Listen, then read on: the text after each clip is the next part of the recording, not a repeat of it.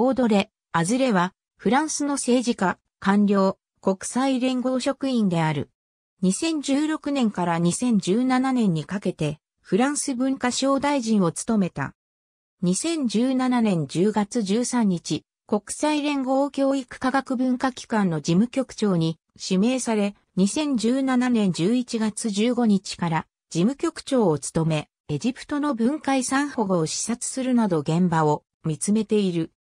2006年にフランス映画庁に加わり、マルチメディア部門副局長、最高法務、財務責任者、次官としてキャリアを積み映画映像産業の支援と作品の保護、補修を法制化し予算をつける。2014年に大統領の文化行政の相談役に就任。2016年2月11日からフルール・ペルランの後を継いで第二次バルス内閣、カズヌーブ内閣においてフランス文化省大臣を務めた。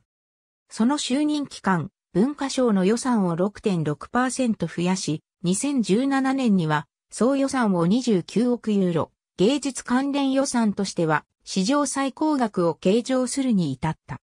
また、アズレの尽力によってアーカイブス・オブ・ウィメン・アーティスト、リサーチエクサビションズはフランスで初めて女性のための現代芸術賞を立ち上げている。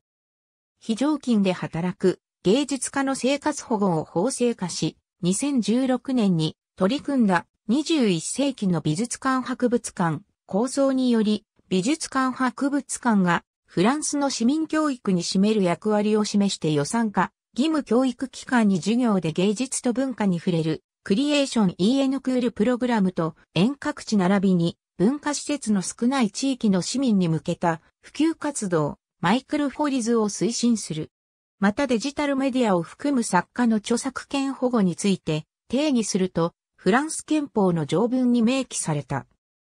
国際的には2016年5月26日、東京においてルーブル美術館長の声明を指示、同年12月にアブダビでフランスとユネスコ及び UAE による紛争地域における文化遺産保護会議の開催と共同声明の草案に遺産の保護修復の基金提言を盛り込むよう尽力すると、2017年3月に初開催となった G7 文化省会議では、文化遺産の破壊に強く抗議するフィレンツェ宣言をまとめ上げている。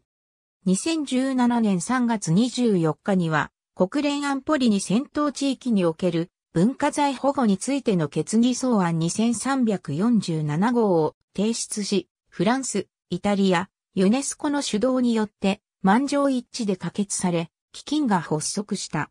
2017年にはユネスコ事務局長職に立候補し、10月に4度の投票を経て選出された。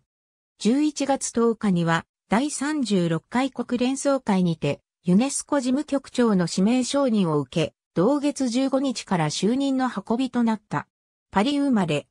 モロッコ王国のエッサウィラに居住していたユダヤ人家系に生まれ、父親はモロッコ王のムハマンド6世のアドバイザーであるアンドレ、アズレ。本人は調査欲的環境で育ったパレスチナ問題に政治的関心があることを明言している。